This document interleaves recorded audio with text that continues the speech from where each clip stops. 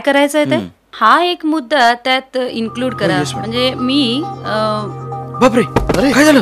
Madam madam madam madam. अगं बाई काय झालं madam hello hello. Madam. Madam madam काय होतंय? तुम्ही अँब्युलन्सला एकशे आठ ला फोन मॅडम. करा. सुनीता सुनीता लवकर ये. बापरे काय झालं यांना? हॅलो अँब्युलन्स एकशे आठ. एम जी रोड सेक्टर दोन ला ताबडतोब या. आमच्या मॅडम बेशुद्ध पडल्यात. मॅडम मॅडम काय होतंय? तुम्ही हनवटी जरा वर करा. तुम्ही हे करा. हो हो. असंच करू ना? हो हो. बरोबर आहे. आली अँब्युलन्स घ्या. हम्म, सांभाळा. नीट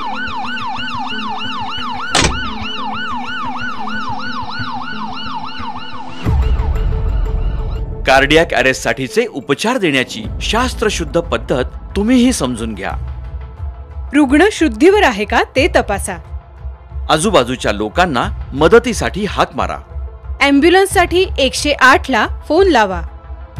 रुग्णाच्या शेजारी कोणत्याही बाजूनं गुडघ्यावर अशा पद्धतीनं बसा आणि आपल्या दोन्ही हाताचे पंजे बोट एकमेकांमध्ये अशी गुंफा. आणि छातीच्या मधोमध अशा तऱ्हेनं दाबा.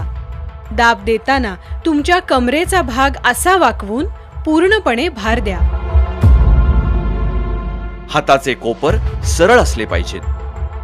एका मिनिटाला शंभर ते एकशे वीस दाब या गतीनं तीस वेळा दाबत राहा.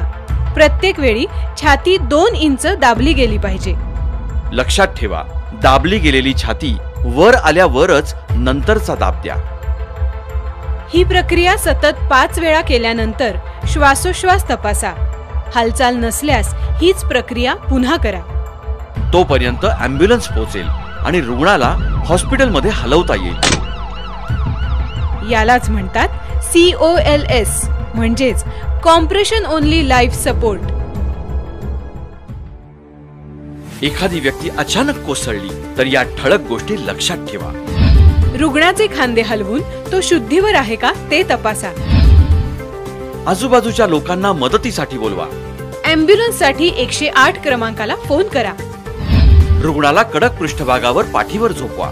शास्त्रशुद्ध पद्धतीनं रुग्णाच्या छातीवर दाब द्या. म्हणजेच सी ओ एल एस सुरू करा. अँब्युलन्स येताच रुग्णाला हॉस्पिटलमध्ये हलवा. लक्षात ठेवा हृदय बंद पडलेला रुग्ण तुम्ही वाचवू शकता. प्रत्येक नागरिक जीवनरक्षक बनवू शकतो. सीओएलएस हा त्यावरचा पहिला उपचार आहे. तो नीट समजून घ्या आणि योग्य वेळी पुढाकार घेऊन तो अंमलात आणा. होय तुम्ही सुद्धा होऊ शकता. जीवन रक्षक. भारतीय भूलतज्ञ संघटना नाशिक शाखेतर्फे जनहितार्थ.